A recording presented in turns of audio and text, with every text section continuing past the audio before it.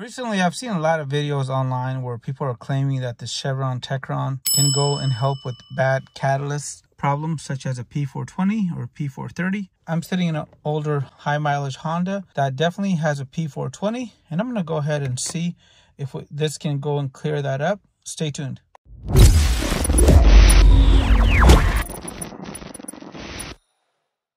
Hey everybody, welcome back to Random Fix. So we got some Techron here, we got the bigger bottle, and we have a vehicle that has a P420 code, and it does not want to set. As you can see, the monitor for the catalyst is not completing, and I'm going to go ahead and see if this can help. And at the end of the video, I'll give you my opinion on whether this works. So definitely stay tuned.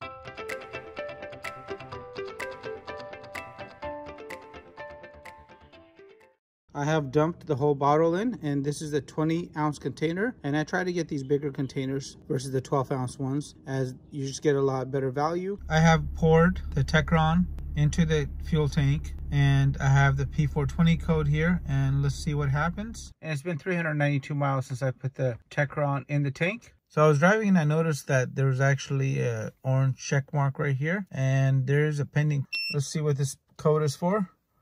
And the code is a P420. And after completing a nice warm cycle, this is the results you can get.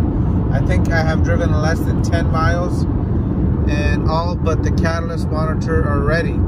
So now I just got to go ahead and focus on this one catalyst monitor, drive on the freeway at a nice steady speed of 65 miles an hour. And the hotter it is outside, the better results you will have.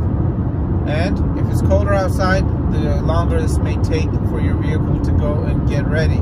And keep on driving. It's been 453 miles since I started this video with the Techron in the fuel system. Here's the results. You can see the catalyst monitor is still not ready. And if you guys are asking for my opinion, I think Techron fuel system cleaner is really good and it's one of my favorite additives to go and put into the tank once a year. However, when it comes down to treating P420 codes, I think this is really not going to be a big help. There's going to be plenty of other products on the market that can help that I've tested, but this is not one of them. And I'll leave you guys a bunch of links in the video description box down below if you guys want to check out some of those videos and judge it for yourself. Overall, good product, just not very good for helping with the P420 or P430 code and it's not advertised to do that so I just wanted to go ahead and make this video to debunk some of the videos that are out there that say this can help the catalyst when I tried it and after 400 something miles it does not work. Anyway, if you have any questions, please comment down below. If there's something that I left off in this video, please let me know what it is so I can incorporate it into another future video and make it a great day. Thank you again.